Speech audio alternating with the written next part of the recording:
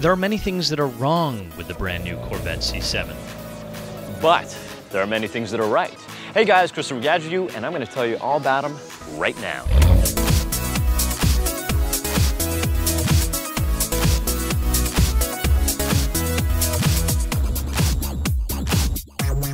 First on the list is a really small and incredibly tight, but still usable trunk. And speaking of small, the inside of the cabin really isn't that accommodating. It's small, it's tight, it's compact. Uh, I stand at 6'2", and I've got my seat all the way back in every possible way. Uh, you'll notice as soon as you get in this car that the windshield is fairly narrow. There isn't a lot of height to it. You can't see out the back very well.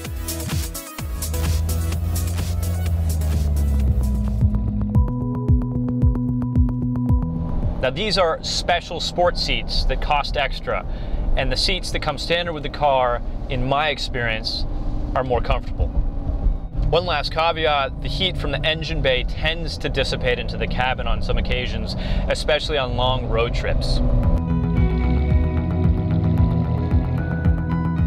Before I get ahead of myself and tell you what might be wrong with this car, let me tell you some more about this fine piece of American engineering. There's not one but two LCD screens, one for the driver, one for the center dash, which by the way is touch resistive and a little bit slow and sometimes painstaking to use. And then there is also a heads up display that conveys the car's RPMs, the G's that you're hitting, as well as what gear you're in. For those with sweaty palms, there is an Alcantara steering wheel that has a really nice feel. Uh, it is a sport steering wheel, nice diameter on it, uh, there is also controls for making and activating phone calls or activating the voice prompt and looking through different information on the driver's screen here. Exclusive to the manual or stick C7 is a seven-speed gearbox. This includes rev matching, which is turned on using the paddle shifters on the steering wheel. And it works perfectly not only for downshifting and ensuring you don't get those sudden jolts forward or that head, head sort of snapping sensation, but it works great when you pull up to stoplights and you really want to show off.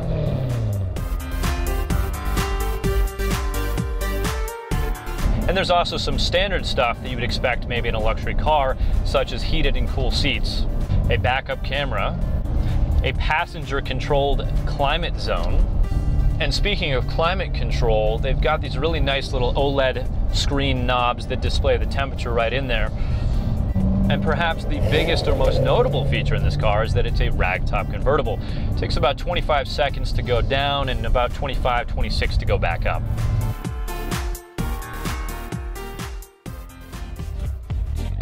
Weather, eco, touring, sport, and track. And of those five modes, you're really gonna end up, or at least in my case, I end up using just three, which include eco, touring, and sport. And touring is kind of right in the middle of those uh, those two, right? So eco uh, reduces the sort of the suspension and the, the it makes it softer, and the, the, steering becomes a little bit lighter. It's not a huge discernible difference if you ask me through all of them. Uh, but what's interesting about eco and sport, by the way, increases uh, the horsepower ever so slightly and opens up the exhaust ports and makes the car a lot louder and firms up the suspension. But Eco is very interesting because if you're driving at highway speed and you're in sixth or seventh gear, it will actually shut down some of the cylinders in the engine. And it's called cylinder deactivation. And Chevy says that you can achieve up to 28 miles per gallon uh, combined. But enough about the boring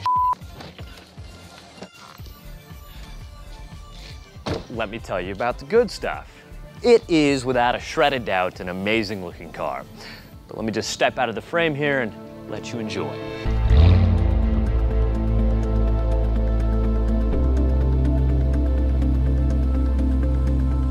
Now, generally speaking, convertibles weigh more than their coupe counterparts for rigidity's sake. Not so with the C7. That's right, it's just as stiff and strong as the hardtop version, but it gets even better. So how does the C7 Corvette drive? Well, let me show you.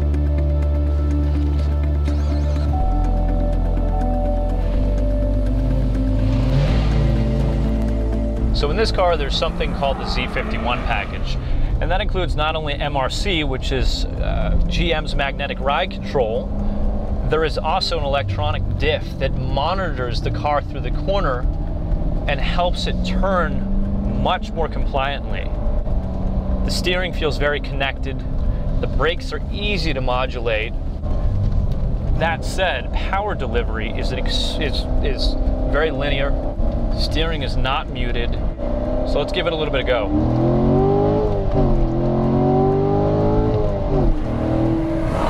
It's, it is another roller coaster. It's about as close to an R8 as you're gonna come for $75,000. For your driving enjoyment, we are gonna go through a tunnel. And that tunnel will include noises such as this.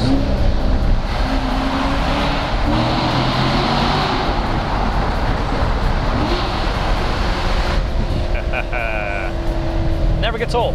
It never gets old.